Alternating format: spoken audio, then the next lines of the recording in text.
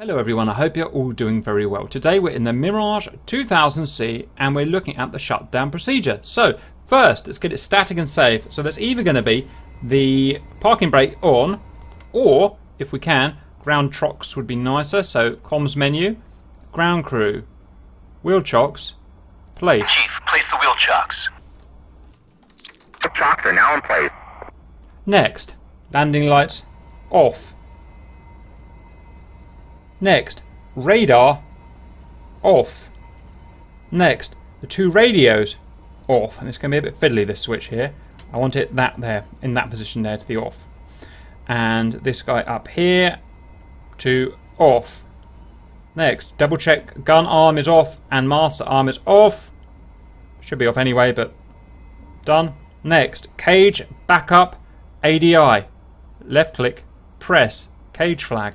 Next, HUD power switch to off. This guy here, left click, off. Next, HUD altimeter to barometric, or ZB in French. Next, radar altimeter to off. It already is. Next, VTB power switch, off.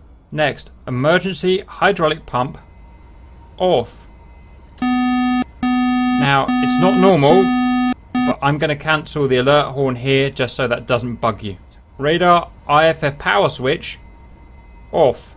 Next, EW mode selector shouldn't actually really matter, but we're going to go to standby. Next, ECM radar warning receiver missile warning system off, off, off. Next, decoy release mode switch off. Next, pitot heat off, and we will get a warning if we don't have our silenced horn. Next, VOR ILS to off. This is outer ring here. Left click off. TACAN. This outer ring here. Left click off. INS panel. This guy here in normal, as it should be probably anyway. And this guy here to off. Next, we're going to cage the throttle. Make sure it's in idle position, your actual throttle, and click the button. Next, left and right boost fuel pumps. Off. Off. Next, fuel cutout switch. Open. So let's open him like thus. Next, canopy, and we're just going to use control, left control and C. Up we go. Next, we're going to go our interior lights, make sure everything's zeroed. Okay.